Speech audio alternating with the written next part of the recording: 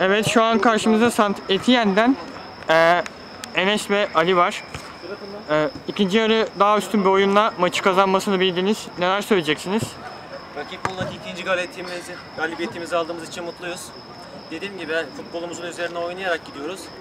İnşallah Aralık'taki final turlarında başarılı olup Türkiye, ilimizi Türkiye çapında temsil etmek için çalışacağız. Teşekkür ederim. Öncelikle rakibimize teşekkür ediyorum. Sağ olsun abiler kadar geldiler. Ayaklarına sağlık. Ee, biz daha iyiydik. İyi olduğumuzu kanıtladık. Ee, golleri de armağan, etti, armağan etmek istediğim kişiler var.